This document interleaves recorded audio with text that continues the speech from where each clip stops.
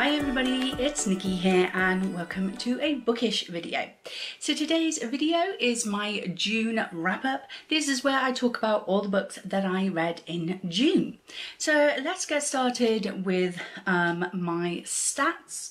Um, I did do um, Bookgammon in June, obviously, it's my game. Um, uh, but I also took part in Whatever You Want-a-thon, um, which is a readathon that was hosted by Maddy's book browsing blog, I think it's called.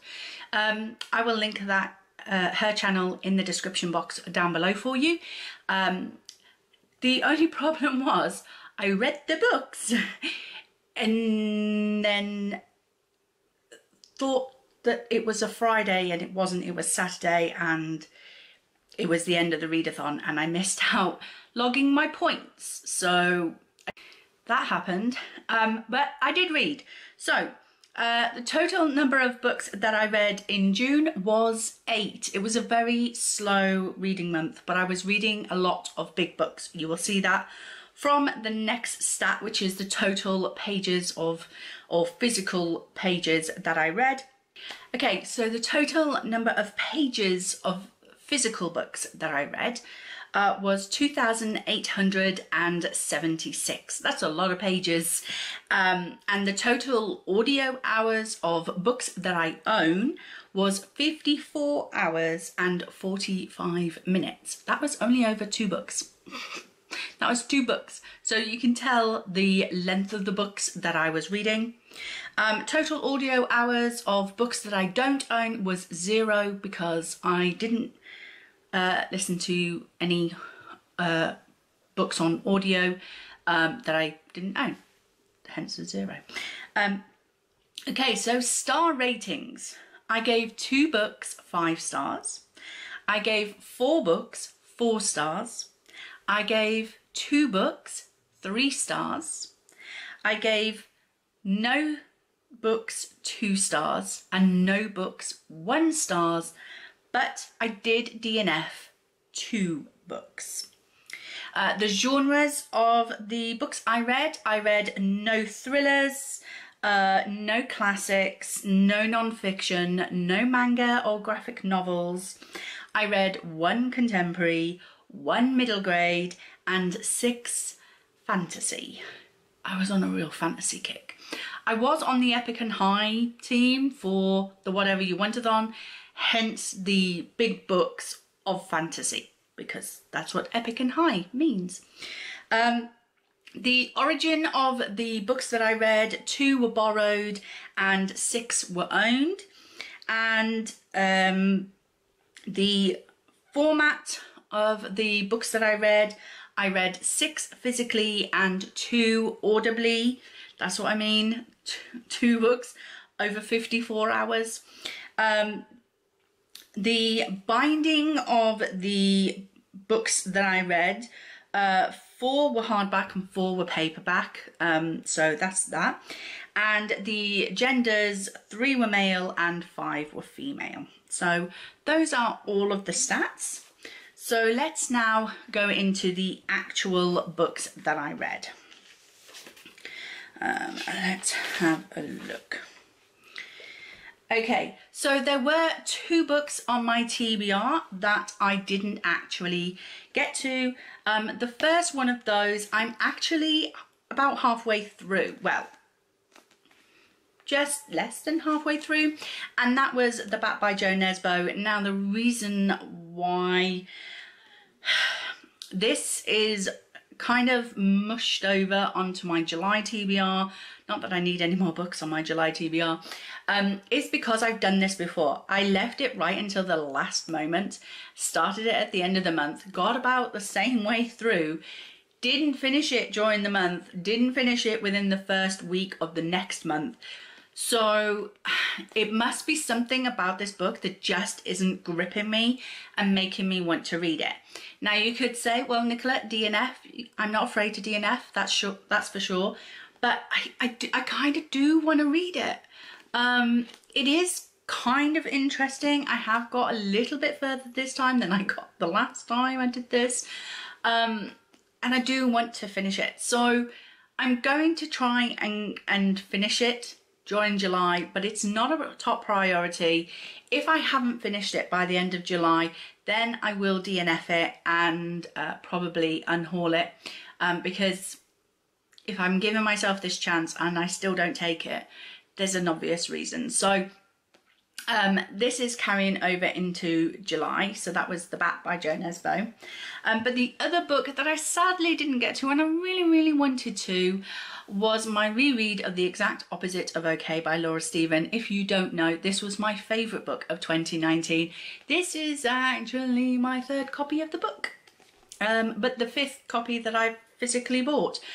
Uh, I sadly didn't get to this, but I'm so wanting to read it. Um, but what I might do is because I do want to kind of annotate through this, I might start it in this month, July, um, and just take my time going slowly through it, a couple of pages at a time, annotating, making notes, doing scribbles and stuff, um, which I don't normally like to do with my books, but as this is a second copy of a book that I love, uh, I don't mind doing that. But I wouldn't do it with my signed copy, that is for sure.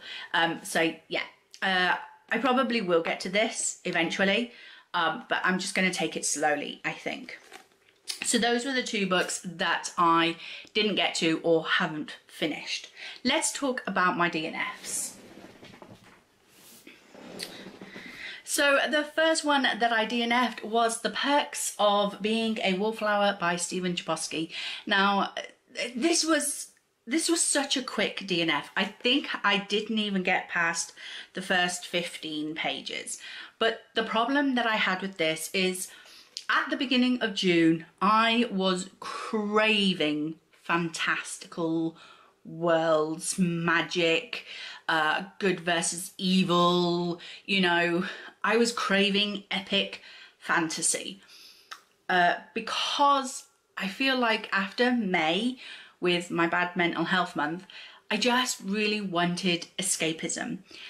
And the opening pages of this literally talk about a young kid who uh, who committed suicide, and uh, our main character is kind of dealing with that um, because he was a friend.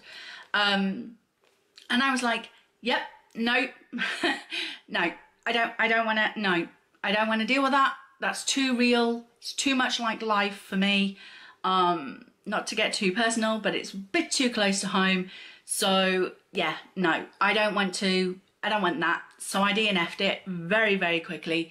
Just wasn't the right time to be reading this. I don't know if I will ever pick it up. I don't know.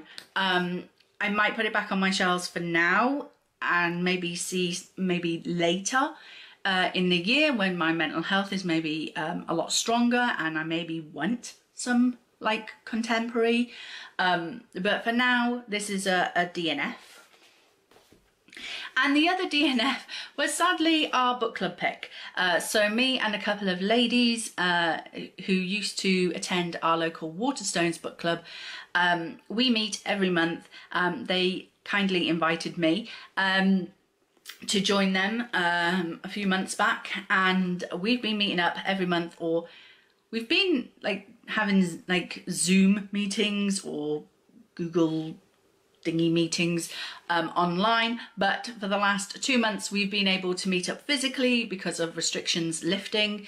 Um, and this month, or the month of June, our book club pick was Attachments by Rainbow Rowell. This is a contemporary and this is basically office chit chat, gossip, talk, and look, even when I worked in an office, I never got involved with that, you know, water cooler gossip kind of thing, as I call it. But the problem was, was it's Rainbow Rowell, and I love her Pumpkinheads graphic novel. And so I wanted to love this because I love that graphic novel so much.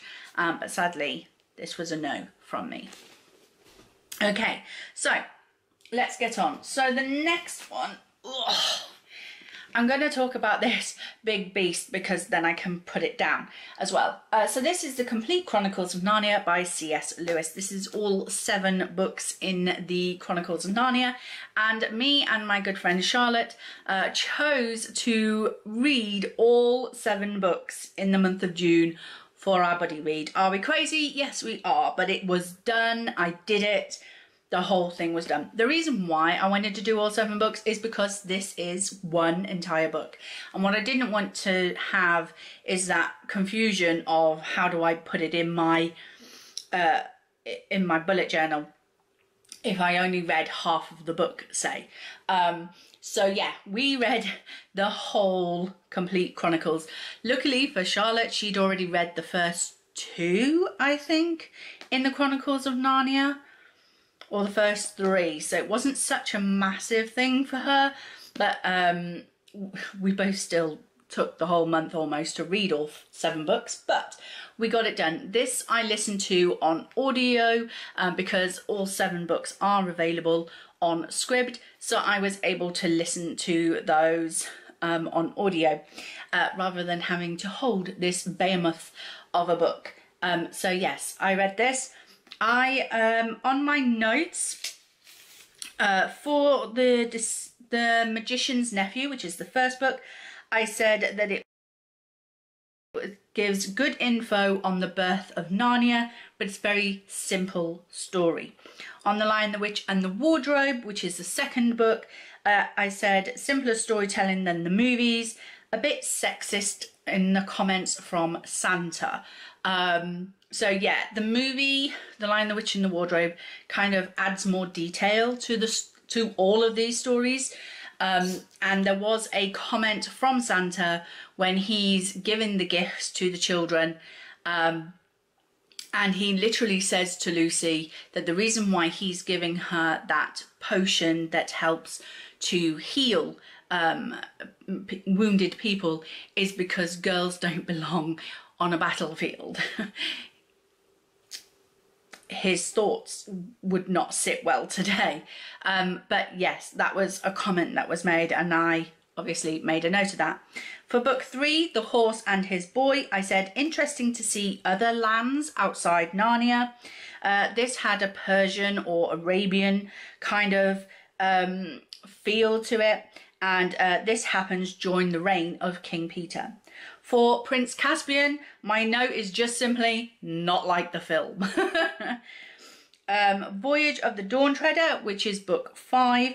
Uh, I put bigger range of characters, more world explained. Caspian is a bit snivelling and has tantrums. So yeah, I felt like Caspian in the movies is a lot older. I believe Ben Barnes plays him. Um, I'll have to go back and watch those films. Uh, but in the books, he's a bit more snivelly and a bit more whingy and whiny.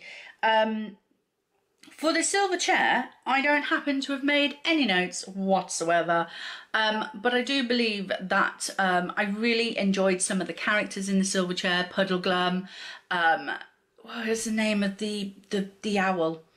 I can't remember.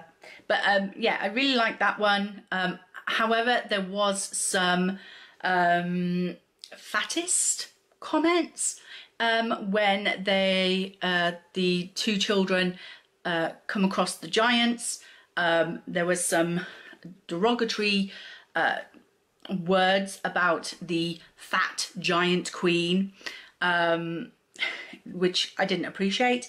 Um, and then the last book, um, the last battle, I said um, it is a product of its time, um, as there is a instance of um, blackening up their faces.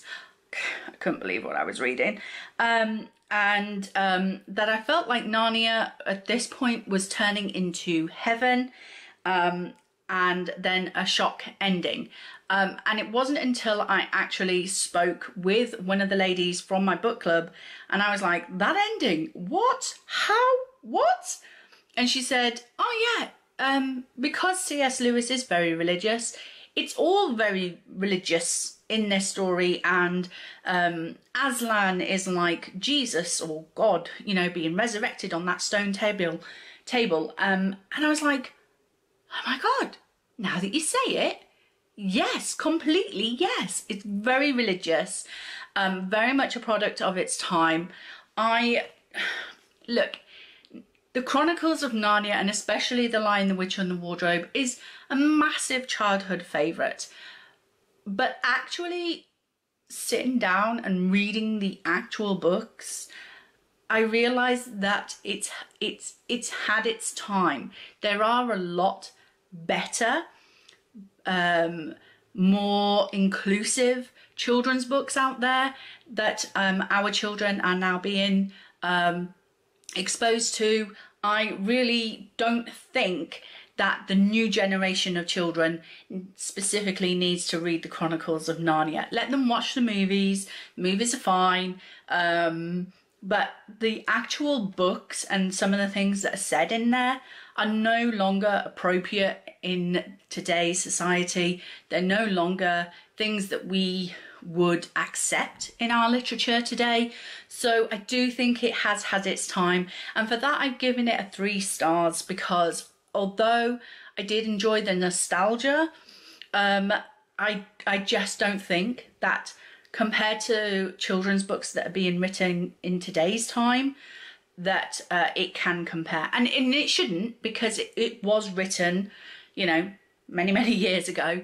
Um, but we have to understand that this compared to today is this has had its time and it it's a it's definitely a product of its time and it hasn't it hasn't aged well shall we say so three stars for the complete chronicles of narnia Okay, so the next book I read was a library book, and this was A Discovery of Witches by Deborah Harkness. So I ended up buddy reading this again with one of the ladies from my uh, uh, from my book club.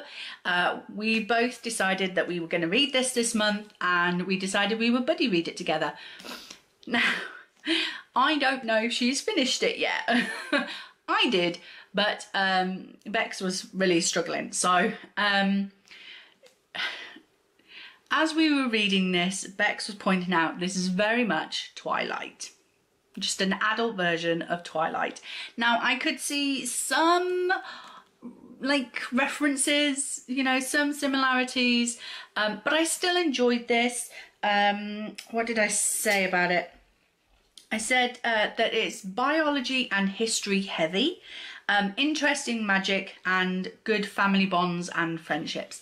So yeah, there's very much um, biology and um, and uh, history involved in this. So as a history buff myself, that really kept me reading with this and luckily I was able to sort of skim the biology, which confused me a little because, you know, me and science, we know that's not a thing um, for me. Um, but yes, the, it was the history part of this that really kept me reading it, and um, the fact that we were buddy reading it um, that really kind of drove me. But I did enjoy it, and I gave it a three stars. Um, I would say it's the sciency bits that really pulled it back for me because I just I just didn't get some of it, um, and that sort of twilight kind of similarity kind of pulled it back a bit as well. So it is a vampire story, yes, and I did like um, what was happening, and I will probably continue the series, but I will just read them through my library. I won't be wanting my own copies of these books. So yeah, I'm probably going to read the second book soon. I don't know when, but I will pick it up. So that's that one book I read was Blood and Honey by Shelby Mahurin. This is the second book to Serpent and Dove, and this is the Fairy Special Edition. Um, so what was my notes on this? Uh, rocky relationships, great new characters, exciting ending to get excited about book number three. Yes, I remember liking about this. It's been it's been a while, and you know me and my memory. Um, was that um, there was a lot of kind of where Lou is is thinking that Reid doesn't quite feel for her the way she feels for him, and Reid is feeling exactly the same way. A lot of misconceptions, you know, not talking to each other again. Seems to be a trope a lot of writers use. Um, and they're out trying to seek uh, people's support while they are trying to take down a bad guy, bad woman in this case, actually. It's not a bad guy, it's a bad woman. Um, and they are seeking help from different groups, different factions. Um, but the problem is, is these factions all hate each other, and um, so it was really great that we got to see some new characters we got to see more of the world we got to see more of these different dynamics between all these different uh, factions and uh, i think we had werewolves and witches and all sorts of creatures in here. Um, i did really really enjoy it and i am excited for book three which should be coming out at the end of july. Um, and I have it pre-ordered from Fairly, which my good friend Karen reminded me of because um, I'd completely forgot. So thanks, Karen. um, so yeah, I gave this a four stars. I did thoroughly enjoy it, despite my bad memory of not remembering what happened in it. Um, that's my memory, not the book. Okay, this next book. Oh my goodness. I read Rule of Wolves by Leigh Bardugo. Now, if you saw my mid-year freakout tag, you will know that I loved this book. Devoured this. I think I read this in about two days, two, three days. Just, just flew through it. Absolutely flew through it. And it's over 500 pages. Um, so my notes for this was uh, best book so far. Uh, love the political twists. Great ending. So yeah, out of all of the Grishaverse books, the first original trilogy, the Shadow and Bone trilogy, um, and then the Six of Crows duology, and now the King of Scars duology, I thought that this was the best book. I just loved the dynamics of the characters in here and all of the political intrigue and all the twists and how things were working out. And there was just some there was just some great points where I was like oh my god did not see that was going to happen. I loved it. I devoured this book. I could not put this book down. I read nothing else. Normally normally I'll have like two three books on the go at the same time and I'll pick up different books during the day depending on what I fancy while I was reading this, I read nothing else for those two days that I was devouring this. I, I, I absolutely just adored this duology. I think it is the best out of all three parts of the Grishaverse series so far. Um, and and you can fight me on that because I know a lot of people like the Six of Crows duology, but this this this is this is brilliant. This is my girl Nina, and I love Nina. So if you are a massive fan of Nina as well and you want more of her, you've got to get to the King of Scars and Rule of Wolves duology because it is fantastic. And yeah, just I, I loved it. So give it a chance. So no surprises, I gave it five stars after all that like raving about it. Five stars. Chef's Kiss, best book of the month. The next book I read was another hardback, and that was The Hobbit by J.R.R. Tolkien. Uh, so this is my lovely hardback uh, copy um, that I treated myself to. So what did I say about this? I said amazing characters and world building. It's Tolkien, obviously. Um, I wanted more details though, um, and I can see how the films managed to stretch The Hobbit into three uh, different films because I always wondered about that. I always thought, ah, how did they stretch The Hobbit into three films? Um, I, I mean, you know, the Lord of the Rings trilogy was in three films, but how did they stretch this small book into three films? And I see now how they did that because obviously it's it's been 20 years since I've read this so my memory about the book and the details of the book were a little hazy even though I remember loving that world that that that fantasy world. Um, but the details were a bit hazy, so I couldn't remember or think how they could stretch it into three films. But once reading it, yes, I feel like what the films did was took the essence of The Hobbit and they built on it. They gave me the details that I felt was kind of missing in the book. Um, but I mean, it is meant to be a children's book, so it is it is a simplified epic fantasy. Um, but yeah, I absolutely love this uh, so so much. Um, I gave it a four stars. As I said, the world building, the characters, everything about it was just top notch. It's just I wanted I wanted something more. I feel like nowadays with our fantasy that is being written today, we're getting those details. We're getting that world building. We're getting we're getting more from our fantasy now and so we've kind of been spoilt. So when we come back to some of the classics which which were a bit more simpler in their time i feel like they're lacking. Whereas you know in its time it was epic and amazing and wonderful but we we know there's more out there and yeah um so yeah i loved it really really loved it. And i cannot wait to get on to the fellowship of the ring. Anybody fancy buddy reading it with me uh, in the month of august?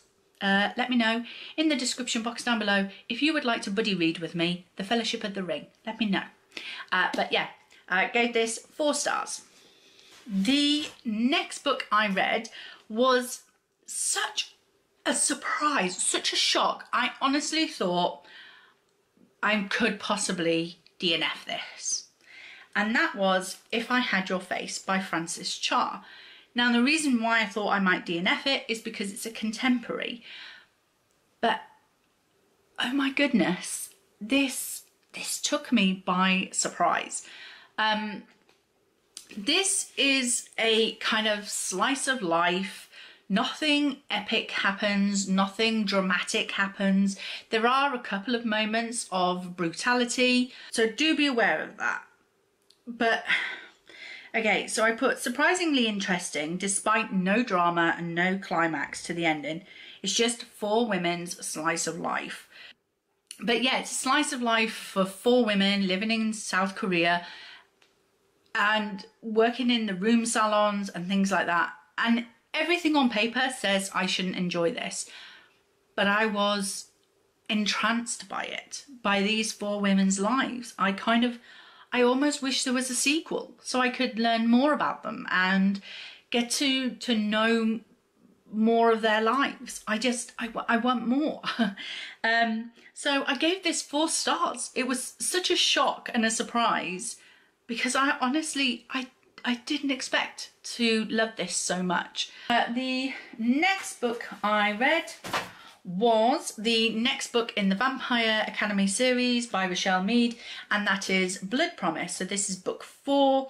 Uh, my notes on this says that it happens away from the school uh, and she has, um, our main character Rose has now gone to Russia and Siberia and we see more of the Strigoi and meet the alchemists. Mm, if that hasn't got you intrigued, I don't know what will.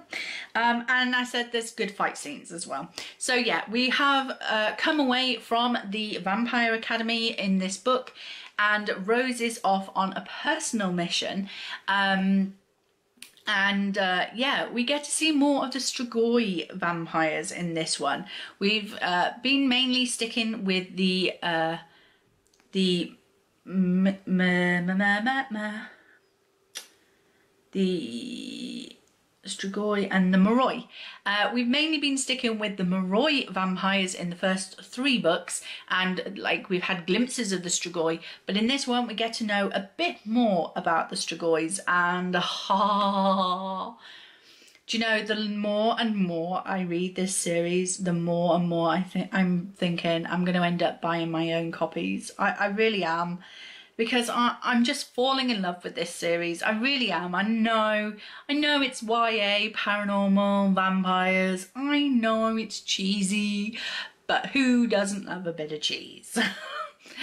I'm really, I'm really enjoying this. I might ask for the box set for Christmas. Don't be surprised if that doesn't happen. um, if that happens, I, I, I loved it. Uh, I gave it four stars. I cannot wait to carry on, uh, but I need to pay some fines um, on my books first because they're late being returned. Um, so yes, I need to pay some fines first. And then the last book that I read, um, and this goes to show you exactly what mood I was in. Um, in June, because it's another epic fantasy, I finally read the third book in the Mistborn series, which is The Hero of Ages, written by Brandon Sanderson. I am kind of glad that I finally managed to finish this trilogy because I have been reading this for two years. It's only three books. and it's took me two years to read it. Um, so I think I read the first book, The Final Empire, in 2019. I reread it again in 2020. Then I read The Well of Ascension in 2020. And now, finally, in 2021, I have finally read The Hero of Ages. Why does three books take me nearly two years to read? It's ridiculous. It really is ridiculous. But yes, I finally finished the first era of the Mistborn series and I loved it. Um, my note says, what an ending. Yes, what an ending. Um, all the threads were tied up um, and the author is not afraid to break you. There were moments in this where I was like, no, no, you didn't. You, ju you just did. Um, and I love that. Please, authors, please break me more. I love it. I love when an author is not afraid to hurt you by hurting their characters because it, it, it makes for much better climaxes. It makes for much better endings. It makes for much better um, action and involvement, and nobody wins everything. You know, someone always, you know, always loses, and, and and I like it when you do that to our main characters. I like it when we hurt them. A little sadistic of me, but I do. I like it. I love it. Um, I gave this five stars. I thoroughly enjoyed this. Um, I believe that the Well of Ascension only got four stars, but the Final Empire got five stars. So it's kind of a four and a half star like trilogy for me. But I absolutely, absolutely loved this. Everything you thought you knew, you didn't. You didn't know a bloody thing. Um, and I just, I loved it. Look, at some point in the future, I will probably reread the Mistborn trilogy again, uh, probably a lot closer to each other next time. Maybe, maybe I might do one a month. I might do that um, in the future because I would like to go back to the beginning and reread again. Um, even though I've already read The Final Empire twice, but it doesn't matter, I'll reread it, I don't care. Um, because I feel like because I did read it over a period of like two years that some of the details, some of the information I might have missed or not picked up on. Um, and I feel like a reread with them a lot closer together will help me to pick those details out because I feel like I'm I'm I am missing parts of this. Um, also as well, I read The Well of Ascension and The Hero of Ages via audiobook um, as well um, even though I have the physical copies, I did listen to them on audiobook and I always feel like I miss a few details when I'm listening to audiobooks as well anyway. So I will be rereading these again in the future, not anytime soon for sure. Um, I have other books I want to get to first. But yeah, I do think that um, the Mistborn series will get a reread again in the future. But it was a five stars from me. So that was it. That was my June wrap up. Uh, I hope you enjoyed it. I know it's been a long one, but you know me, I love to waffle. So I will stop waffling now and let you go and I will speak to you in the next video. Bye!